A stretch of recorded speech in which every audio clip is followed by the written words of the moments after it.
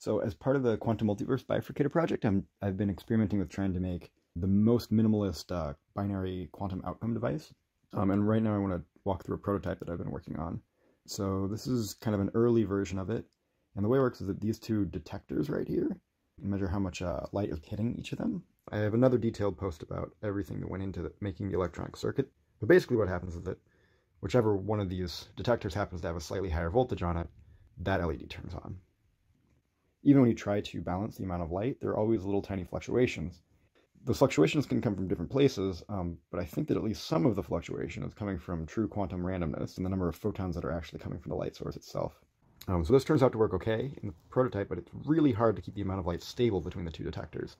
So in the, my next version, I tried adding this container with a light aperture on top. And so if I use a stable light source, this makes it so it's a lot easier to calibrate the device.